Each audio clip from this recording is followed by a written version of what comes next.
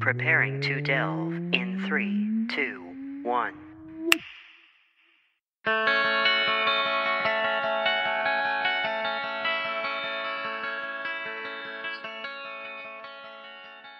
Hello, everybody, and welcome to Delve. My name is Nathan. And I'm Alex. And, uh, Alex, I have some exciting news. Exciting news. Oh, good. Yes, and it has nothing to do with yams, so that's even better. That's unfortunate. We have gotten a uh, a letter from one of our listeners. So what you're what you're trying to say is we just got a letter.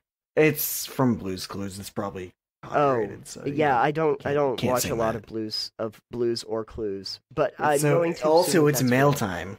It's mail time. That's fine. We could have gone to uh, Mr. Rogers' neighborhood. Mr. McFeeny. Mr. McFeeny. Mr. Thank McFeely. Mr. McFeeny. Whatever it was. Mr. McFeeny has come around and given us a letter in digital form. This is from Julian. Uh, thank you, Julian, for your letter. And uh, in addition to just talking about some of the general stuff that uh, Julian found interesting in our show, give us a little bit of feedback. Which we appreciate dearly, mind you. We absolutely do, and thank you very much for that. There was a, a part in that letter about uh, asking for topics. We had actually put that out to our audience uh, a while back in what they refer to as uh, episode 202 or 200 ish, uh, where, where we had asked uh, if anybody had topics that they wanted to see us cover. And so the one that is uh, listed here I wanted to address, and so I'll start by just reading what is written. Whilst you speak of game mechanics, we often do for the record, one of the things that has interested me is heartbreakers, hacks, and mods of existing games. Uh, i.e., where you take an existing game and rewrite a portion of the rules or change the setting for whatever reason. I have been laboriously compiling a hack for the Hero Quest board game over the past few years to bring a bit more of a roleplay aspect into the game, where your heroes can learn and grow over successive games. The topic of heartbreakers, hacks, and mods is an interesting one, I think. Uh, when is a house rule only a house rule? And when does it become a hack? Why even hack a game? Why bother to mod a game? There's a lot of components to that the first thing that actually struck me when I first saw that too, and Alex, I don't know uh, how you feel, but when I I heard the term heartbreakers, I was like, I don't know what that is. Yeah. I, I was the same way. I was like, Heartbreakers? I'm like, mm, not sure. Is that a game? Is that something you do actively on Saturday nights? I'm not sure. it's it's love letter, but it's it's like Oh. it's a modified love letter version. I I had looked it up and I I got a few different conflicting definitions, so uh, I I think it's kind of like in and around the idea of building a system that is very much rooted in one specific system previously. And I think they usually apply it to like Dungeons and Dragons. Like if you invented a system that was so close to Dungeons and Dragons that it basically breaks your heart that you've you've essentially recreated the wheel in some ways. But- Pathfinder. yeah, I think I think that there were really like specific ones that weren't even working off of like D and D specifically, but kind of ended up becoming D and D. But I feel like that's one that at some point maybe we'll get back to talk about that in more detail because I think that's like a, a whole other discussion. But let's talk a little bit about uh, about hacks and mods Yams. and yams. Let's talk about yam mods. what happens when you mod a game so it has yams? I have Dungeons and Dragons. I want to put yams in it. Can you think of any kind of like uh, hacks or mods to existing games uh, that that you are aware of? I mean, there's a plenty of mods on the Nexus forums. Are there any one specifically that you uh, that you have played, or I mean, are we? We're talking tabletop, right? we're talking tabletop. We're not yeah. talking. We're we're not. oh, I was I was talking like Skyrim and Fallout. Oh yeah, no, Skyrim and Fallout. That's that's totally a different thing. Well, I mean, if we were talking about the digital realm, and we we can briefly, because I'm I'm pretty sure Julian is, is specifically talking about tabletop gaming. There there are points where I would say a mod is a complete recreation, like a, a completely new game from the original game.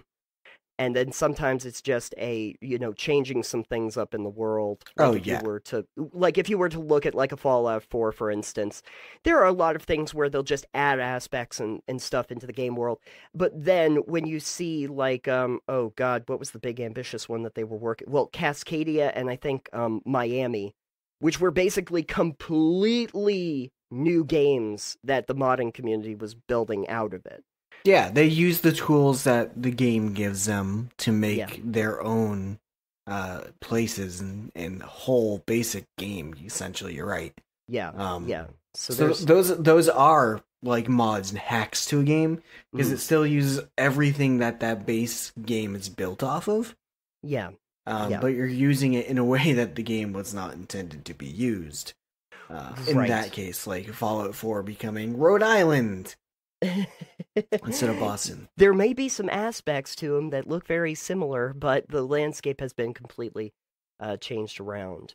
Like when I think of hack, like when I think of the of the word hack itself, I'm mostly figuring that you're trying to break the existing rule set. Um, not necessarily break it typically. Um, I think a lot of times when people uh, refer to hacking a game, Mm, um, it's kind of taking chunks out here and there, okay. like using the good bits, okay. not the bad bits. So you're yeah, yeah, yeah. hacking the game apart more so. okay. I could be completely wrong. That's just what I see it as. We're always welcome for feedback. So like if you wanted to if you wanted to hack D&D, you could say, "Well, this mechanic is kind of clunky, so I'm just going to remove it or replace it." Mhm. Or say you th- like something a lot and then you're like, "All right, cool. Well, I'm going to add on to that. So I'm going to hack this mechanic or modify this mechanic." you've you've run games before and you you've you've worked in existing systems. Do you have some examples that you might be able to give me of places where you had to do modification to the existing game the rules in order to make them work well for you where you have to or where Oh, you've been in a game where you've had to Oh, geez. I mean, one common example of not nothing severe, but uh, technically uh, fudging a dice roll would be Mm. kind of hacking the rules or right modifying the rules because you're bending what the dice says to fit the story or the the gameplay that for the outcome to be different. So despite the rules saying, you know, you do this, so you roll the dice and you read that number and it is that number, it's if you fudge it, technically you're kind of modifying that because oh well, I'll just add 2 to this even though they can't see it. You know, oh, okay the roll I- is secret, so it's not like you're gonna go, oh, I actually rolled a 17, not a 15. Right. I don't know if that's so much a hack as it is just saying that uh, I'm gonna just take the the mechanical part of that out essentially for the narrative portion. At the same point in time, though, if you're just gonna do that anyways, Mm, then what's the point of rolling the dice? right, right. Well, see, that's what I'm thinking though. Is if if we're basically saying like technically this should be a mechanical part that we're getting into, but we're kind of just gonna negate that. We're gonna kind of like take that out. I don't necessarily know if that's a hack as much as it is just a, a decision to not use something in the game. Because I'm not replacing it with anything. I'm just uh I'm just removing Yeah. something. On, on the flip side, you get things like homebrews, yes. which are pretty much hacks because you're Mhm. taking and making new classes, mechanics, rules, uh, all these things for an existing game system and implementing these new things you've come up with and putting them into a game that wasn't meant to support what the what your creation does. I see. Some of the cases in this when you homebrew, for instance, people don't account for balance. I've seen some different character models that have been built that definitely seem like they are not balanced. Yes. There, there's a lot of those, like the um, what, I think Chuck Norris. Oh well, of course. Or Sir Terry Crews. Yeah, that one. That one is uh, it's funny. Oh yeah. It's it's hilarious, but it is not like something that you would actually want to play. And if you did want to play, it would not be balanced. Or the uh, the Old Spice gentleman class. If you remember Yes. that one too. Yes. like for me, if I'm thinking about home brewing, because we can talk a little bit about home brewing in this. We can talk Um, about anything we want, Nathan. We can, but I would like to address uh, what Julian's uh, discussing. But I think homebrewing kind of comes into this as well. Like when I'm thinking about homebrewing, in order for it to be considered like a modified system, it would be rule sets that you were putting down at the very beginning before you actually started a campaign or anything like that. If you were homebrewing as time goes on, and kind of like tweaking and modifying things, that just feels like what happens normally in a role playing experience. Doesn't really feel like you're modifying the system. You're just playing to the game, essentially. Uh, and Okay. do do you feel do you feel that way, or do you have a different take on it? I, I feel like most people don't take and modify the game itself as it's ongoing. That would be an interesting thing. Like maybe not D and D, maybe like games like Fate, for instance, Yeah, yeah, yeah. or games that are rely more less on dice rolls and more heavily on the roleplay aspect and storytelling aspects could do that. Okay. But generally, I don't feel like in D D people go, "Oh well, this is a weird thing. I'm not going to use it. I'm going to make my own mechanic right now." If you are interested, though, I can give you some examples of modified rules that were implemented after the fact in Dungeons and Dragons. Sure, Nathan. That would be wonderful. I will actually, I will cite Adventure Zone, and I know that you haven't listened to Adventure Zone, but I have not. uh, but during that particular the balance arc, they were fairly new to Dungeons and Dragons, so they start with the basic rules. You know, it, it becomes pretty obvious that they're just trying to wrap their heads around how the game is played at the beginning. So they actually have a, um, I think it's the Minds of Phandelver is actually what they were working off of for the first part. They have that starter quest and they kind of go through that, but then they start to implement some things. Griffin starts to implement some things that are definitely outside the realm of what you would consider D&D mechanics. One of the first things was um, the the fantasy gashapon machine, essentially that he makes. Gosh upon. It got you know the little capsules that come down and they have little prizes in them. Is that what those are called? Apparently, uh, when they would go uh, to to like level up and and visit the moon base. By the way, there was a moon base, so yeah, I, I got that. a little bit out. They would go to this machine and they would roll a, a d20. Each one of the characters essentially had a separate list that was a d20 list, and it would determine what they received for like a special item that they could then use for the rest of the adventure. One of the other things that they did, I think it was like the second arc or third arc, they had a whole extended racing part. And so what Griffin had put in at that point was a mechanic that determined the speeds of all of the vehicles that were on this track to see the that new ones are coming up and uh, and other ones are you know veering off and crashing into the sides of walls and everything and that so your turn order keeps changing based on the racers that are coming up behind you while you're on that and um and I think that he had basically modified it so that instead of individual players taking turns it was each racing car was taking a turn so the people that were on them were actually making those rolls together. That's So- interesting, but that's more like a specific scenario okay where you would make the rule to or the mechanic to fit the scenario that you've made for your specific game. But it's not Okay. like it's something that you're going overall for the entire game. So, like, right unless your players decide they want to race a lot, that's only going to be used like the one time. that that was just in that one particular arc there there is something that i found very interesting at toward the end of that particular campaign that did translate over to the to the end game and he had basically done almost a modified powered by the apocalypse system that he put in to determine based on the character choices that they made how many like bonds and connections they had to the world before they get to the final conflict and they would be able to utilize those when they get to the end game. So there's like this one part of that whole thing where we essentially step out of Dungeons and Dragons altogether. We go to this other system, and then what happens during that arc in that system then translates back into what happens when we go back to Dungeons and Dragons at the very end. So I found that whole thing uh, really interesting that we actually that they actually stepped out of a system and then rejoined it and made what happened inside of that one specific arc translate over. That's interesting. Mm. Um, do you do you know if it was difficult to translate the characters and all the stuff from? Here's here's what I got because Griffin was talking a little bit about it is um when they got to that particular section because it's been out for a year. I guess it doesn't really matter if I spoil too much, but I'll try to do pretty vague stuff in case you want to listen. I won't. You can be fine. But if other people want to listen, that's you know. It it doesn't really matter if I give you the whole rundown of what happened, but basically they were trying to determine what had happened before these characters had even started on the adventure. Like there was there was stuff that happened before they had even begun that they were just becoming aware of now. Like they didn't realize that they had lost memories and they had to figure out what happened beforehand. So technically everything that was being built happened before their character sheets were even made.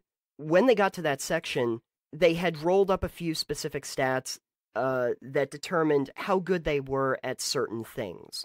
But there wasn't going to be any combat. Like that that became pretty obvious. So most of those other mechanics were not necessary and they were mostly focusing on getting these stats together as a storytelling exercise. What happens through that storytelling then becomes essentially bonuses that they get when we rejoin with their character sheets and all of that. So so they didn't really have to do too much to translate it. It really didn't matter too much if their strength score was this or their intelligence was this or they could do a their initiative was 17 or 18 because we were going through multiple scenes where they just had to make character decisions that would determine if they gained like uh, treasures or artifacts or anything like that that might be useful when we get to the, the final conflict now that they've been awoken essentially the final countdown. when you get to the final countdown exactly because of that they actually didn't have to do much translation from one system to another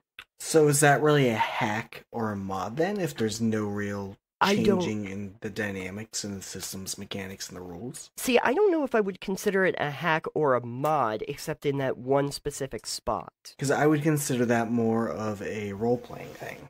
But at the same time, I mean, they were stepping completely out of the system that they were using.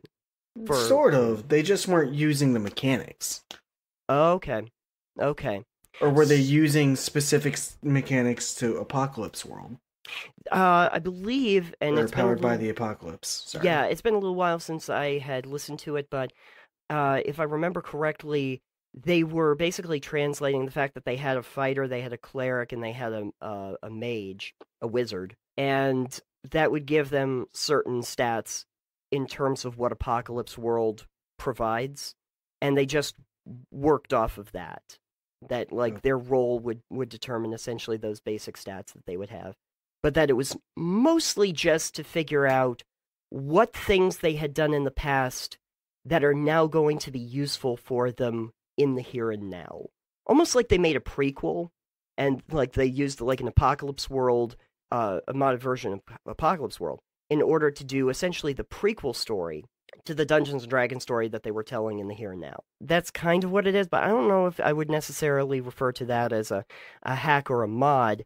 But at the same time, it does feel like they did major modification to what Dungeons and Dragons would be if you say you're using that It, system. it, it was definitely definitely atypical of the Mm. D and D Right. set. Right. That's what I'm thinking. But I guess I guess when I think about mods myself, it is something that's supposed to be implemented into the game as a whole. Uh, So something that you could consider a mod could be alternate campaign settings. Um, anything Okay. you get off the DM's Guild, for instance, those are mods. okay, Um, because they are modifying certain aspects of the game. They're Mhm. not made by the company. They're not Wizards of the Coast like saying, "Hey, these are things we made. These are things other people made," and you know support their work.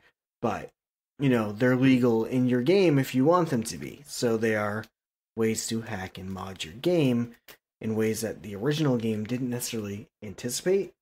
But they're also ways to add a lot more uh, different types of content to it. Oh yeah, yeah, fair enough. Because technically, you could use a system like D and D for things that are not necessarily fantasy or high fantasy settings. I, I thought you were gonna say that aren't D and D, and I was gonna be like, yeah, I use D and D in the shower.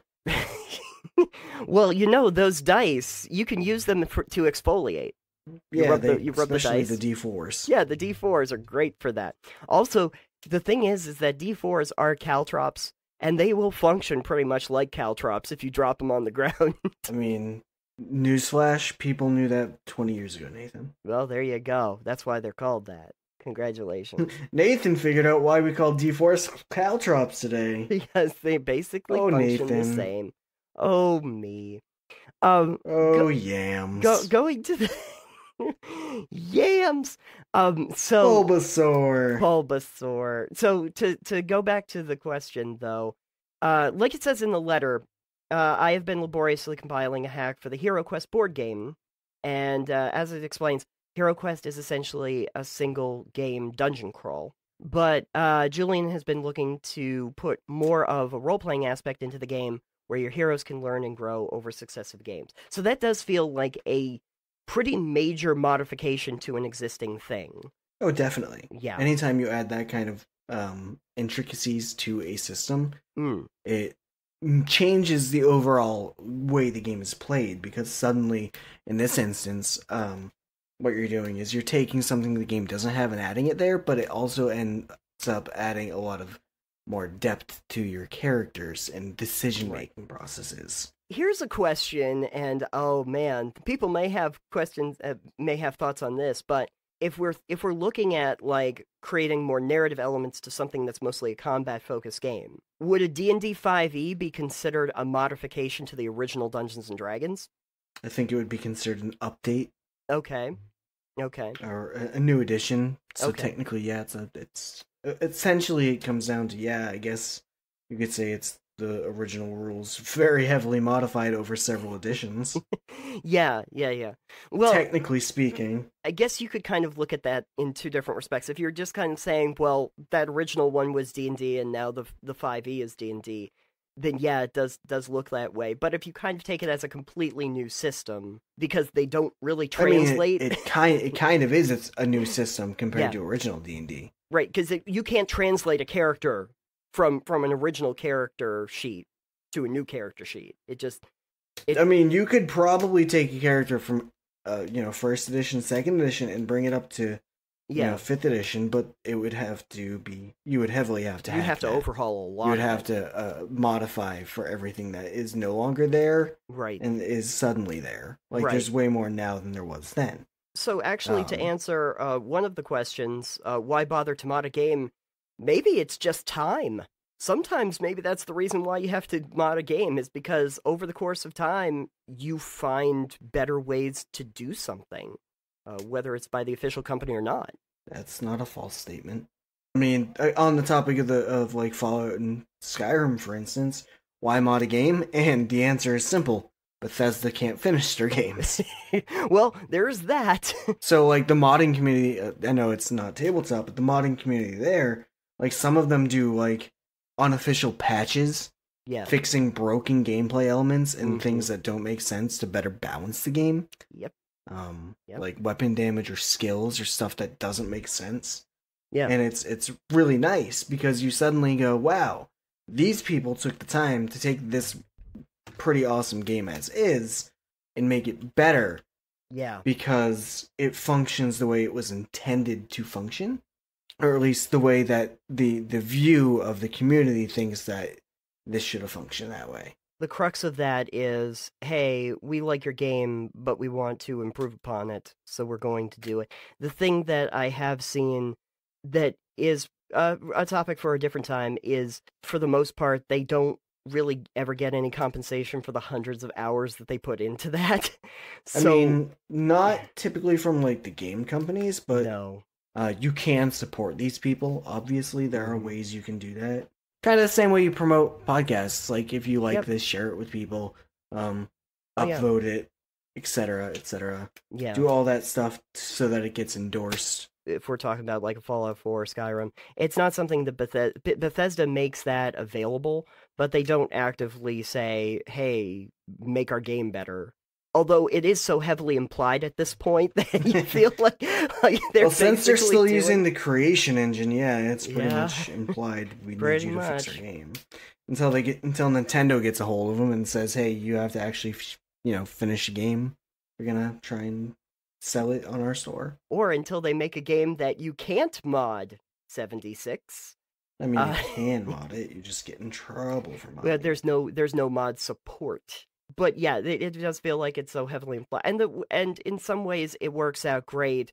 Uh, one of the reasons why a lot of companies were talking about how they actually have started to support a mod community rather than discourage it is because you know Skyrim's like seven years old now. Why do people Mhm. still play it? Mostly because of the mod. because the mod community and whatnot have made it so that the game is able to be vastly changed depending on what you want to do to it. I think that the same basic principles can also apply in some ways to tabletop gaming. Like for instance, like when Julian is talking about Hero Quest, like I'm not very familiar with Hero Quest, but the fact that we still have people that are looking to make modifications for that game keeps it relevant even now because we might be able to look at it in another in another light. So why bother to mod a game? I would say sometimes it's to to keep it relevant uh, in the modern Yeah, spectrum That's a good reason. like why even hack a game that was one of the other questions is obviously julian is, is making a hack uh, for for hero quest um I, I guess i would pass the question back like why are you doing that like like there's obviously I think real I think the ultimate, the easiest answer would be, Mm. to make it more fun. or to make it more complex or to make it richer in terms of of its complexity Monetary value. Oh. Or- no, yes you you raise the value of the Or game here, here's an actual example I can give you. Like, okay um, for any of the Fantasy Flight 40k RPGs they did, Mm. hacking those games, for instance, would be an effectively way, an effective way to make the game easier to play because Right. the games are really good, Mhm. but the mechanics are really not. like there's so much you can do and it's really awesome the level that you can go into things yeah. but like streamline it seriously. Yes. Streamline those mechanics. I know they don't own the rights to that anymore. It's a different company that has the rights to make rpgs with that license now. Right but like right. when i was playing with my friends it was like yeah you can get a dodge roll against a ballistics check so you can dodge bullets You're Neo. And it was like, that's no, like, I've got a sniper rifle. This guy's not dodging the bullet. I don't care how superhuman he is, he's not dodging this bullet. But Mhm. unlike the same thing with that is like that system ran with opposed checks. So for every time I swing an axe at you, you can take a dodge action and you can try to evade that. And it made the system really heavy and clunky. So stuff like that. I do feel like you're you're right. Like more often than not, it's trying to simplify something that was overly complex to begin with. Well, not necessarily more often than not, but absolutely as something people will try to do to streamline mechanics that are clunky Right. and don't work.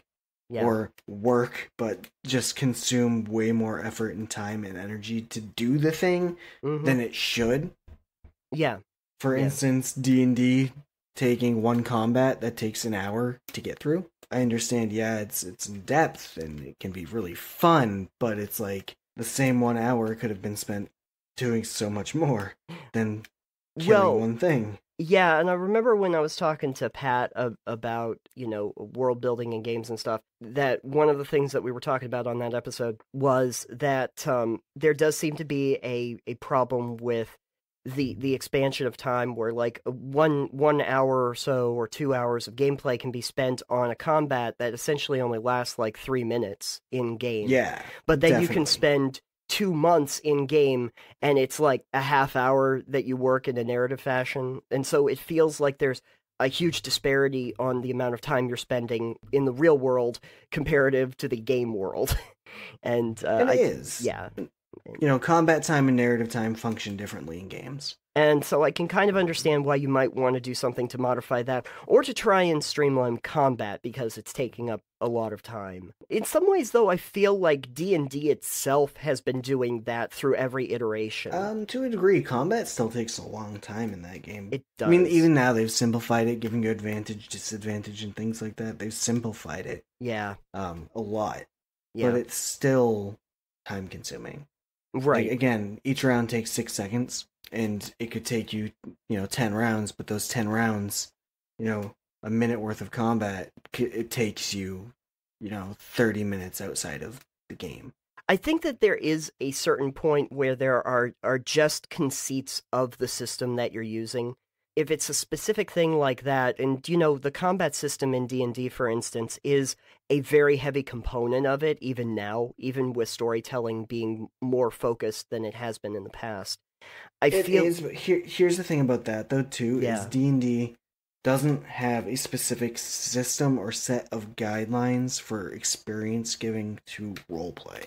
I think it's encouraged more now, just because it it does seem to be a focal It is. point. It is way more encouraged than say 3.5 was. but you're right. We've Um, we've been discussing that before. The idea that like there really isn't an experience system, and I think even by the end of when we revisited experience, we still weren't even sure how you would implement a non-combat experience system, because Um, otherwise you're in the forest just researching herbs all damn day.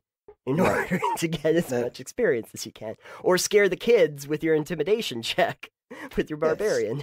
Exactly. Yeah. So you can you can game the system regardless, I suppose.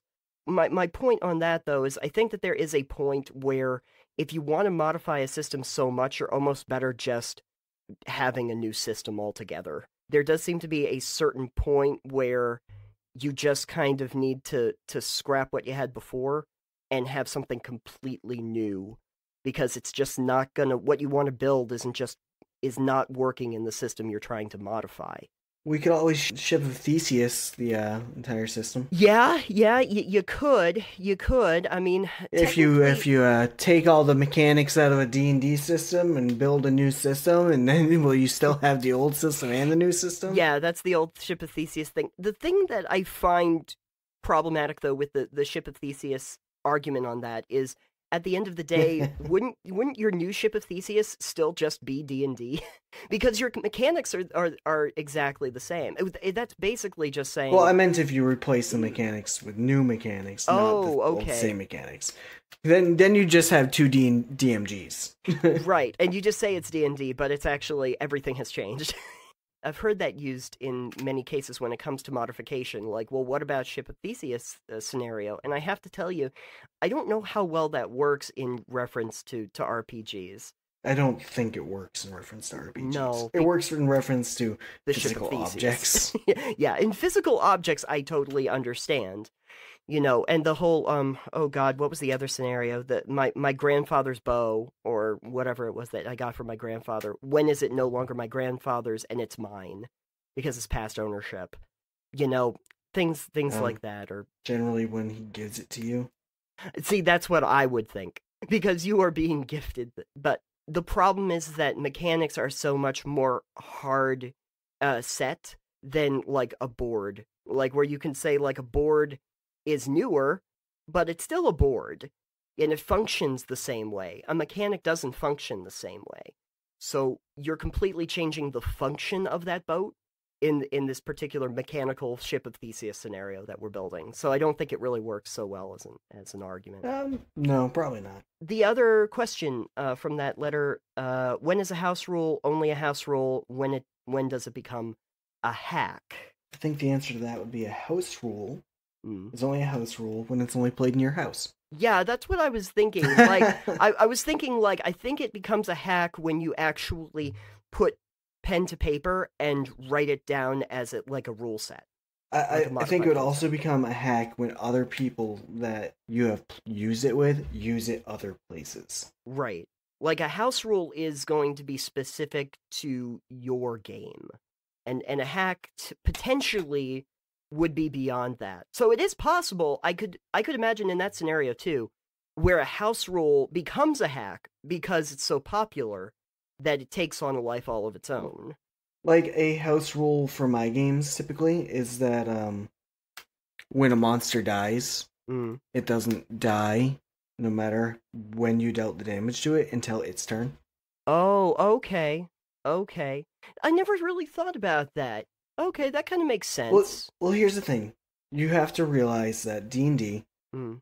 each round is 6 seconds and everybody's acting in the same 6 seconds, which means if you technically initiative order, everyone gets their turn. But if you kill this monster on your turn and you go first, it should have a chance to go in combat because you're all acting simultaneously. Okay. So you stab this monster as it tries to bite you, and it may or may not bite you, whether it would on its turn, but after that, it would collapse dead. See, I actually thought that there was another reason why you would do that because if everyone's acting at the same time in combat, uh, it is also possible that other characters, not knowing that that character that that monster was going to die anyway from your blows, would also try to attack it because that would be the natural thought process for them. Well, that is part of the reason that it's a house rule in my games, Okay. is because it would get to the point where it'd be like, all right, you deal 10 points of damage to that monster, and it dies on their turn. And so then the next players would focus their direction on a different monster. That monster is no longer a threat.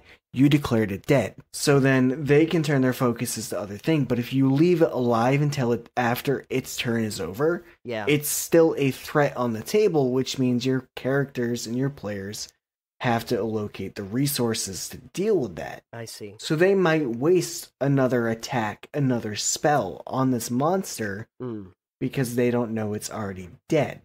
But that would make dead. sense. You're, you're thinking, And that and that that's my sense. theory on it. Yeah. And I know some people would argue with that. You go, "Oh, but that's not fair to your players." And then my argument to them would be, "Well, you don't die until your turn at the end of it or get knocked out." Mm. So it balances out both ways. Right. You want fairness for the monsters in this scenario. I do because there's so many times that players just overpower them. And it's like, "Oh, it's a single monster and we can kill it. We have 5 people in the party. We're going to kill it real quick." It gives it that one extra turn of combat to deal some damage, Yeah. and it means your party has to deal with the damage control. yeah, that it's still going to be a threat uh until its natural time that it would expire. Yeah, usually when the sword is protruding from its skull. But now if if I've already gotten the sword into his skull, it's it, is it going to attack me? I mean, it's going to have a dying a dying bite. Okay. Technically, when it gets around to its turn, though, in a round of combat, it's it's attacking around the same time that the sword would have been going into. Yeah, so like in that case, on your turn, if we described it as you sink the sword into the beast's skull down to the hilt, for instance, dealing, you know, 15 points of damage or whatever. On the monster's turn, we could you could describe that narratively as as you plunge your sword into this monster's skull, it makes one last desperate bite at you or swipe at you as it shrieks its last, you know, cry of terror. Uh, okay. I guess the one thing that I would say to be devil's advocate here, like for me, I remember that I was down and I was into death rolls occasionally, and usually that happened immediately for the games that I've played. That happens like immediately when it happens. Mhm. Like, I, like I'm I'm there the second that an enemy takes me down below zero hit points. I do wonder though if we do kind of enforce the idea that everybody's taking it in that six seconds and it's all happening simultaneously in that six second round of combat. Does initiative even matter? You know what I mean? Does it even matter who's going first, who's going second? Because everybody is going to have an action. It does. Okay. Because people have a chance to react. So, say you get hit for 50 points of damage out of nowhere Yeah. by someone else on their first, they have higher initiative than you, Sure. and suddenly you go, All right, well, on my turn, I'm dead. Mm-hmm. Your party can notice that, hey, he just got hit for a lot of damage. Like, it's the, oh, this thing just happened in the awareness of it, so you could have your healer, like, slap you, save you from dying on their turn because it's before you act, but after the monster acted. So initiative still kind of plays there.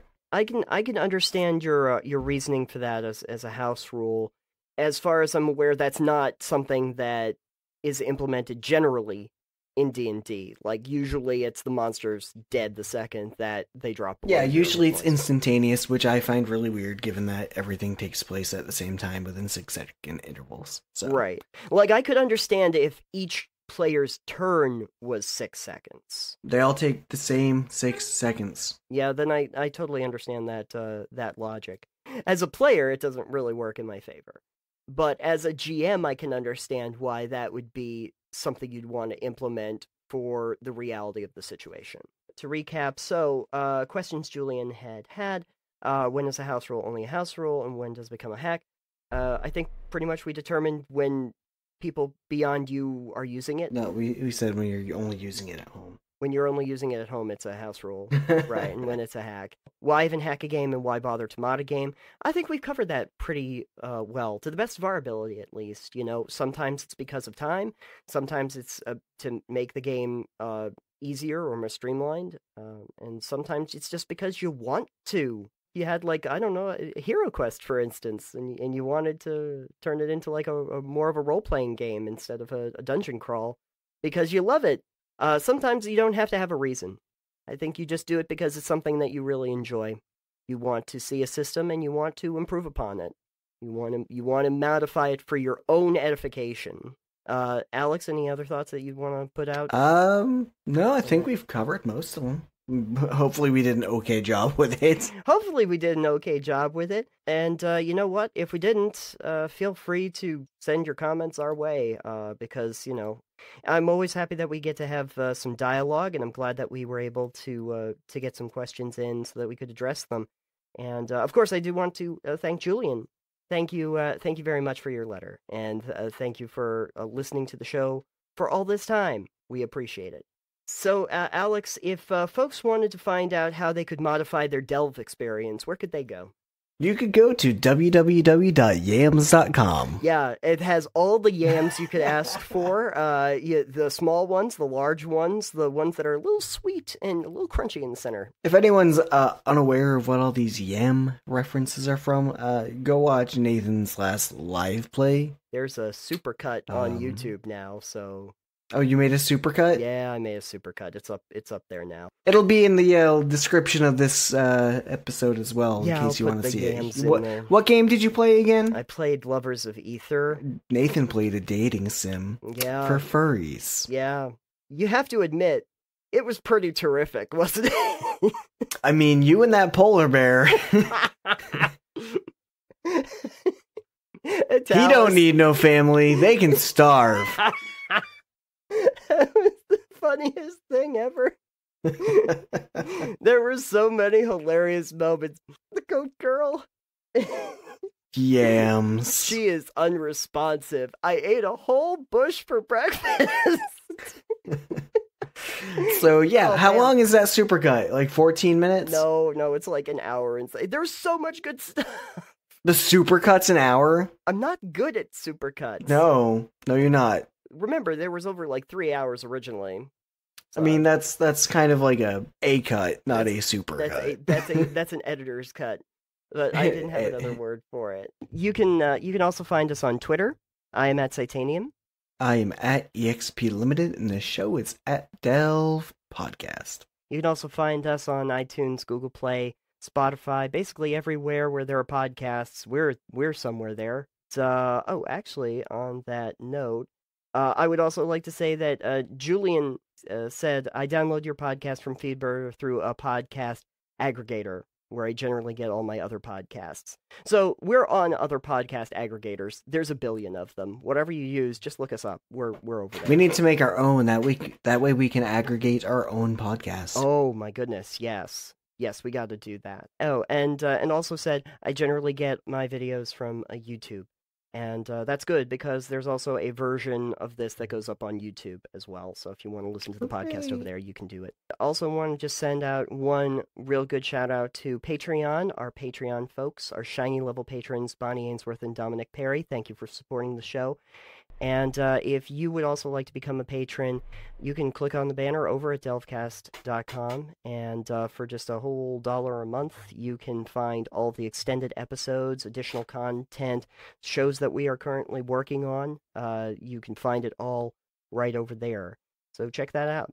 Uh, there's even some stuff if you are not a patron yet, so that you can look at some of the stuff we have in the works. With all that being said, I feel like we need to come up with a hack for the end of the show.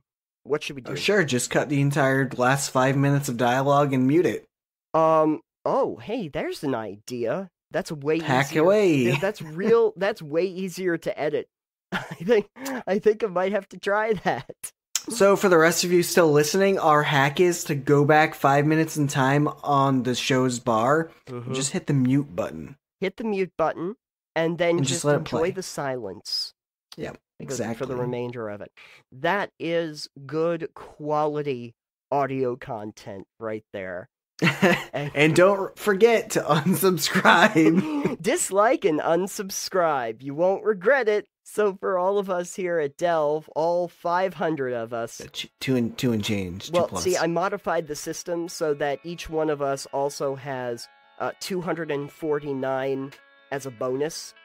So Others? So yeah. Oh, okay. yeah. so, So, we all count. So we both count as 250. So from This all outro is so long. Yeah, seriously, mute the last five minutes and call it good, guys. this is why we said just just turn it off now. Thank you all for listening. We will see you on the next episode. Bye, everyone. Bye.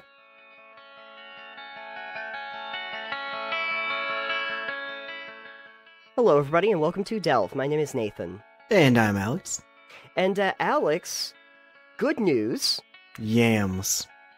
Yams. Also good news. Ooh, I can go into Stardew Valley and start growing some yams. Okay, so that's a couple segues out of the way. Would you want to um, start that over? no. yeah, I will. Well, now we have to. now you have to.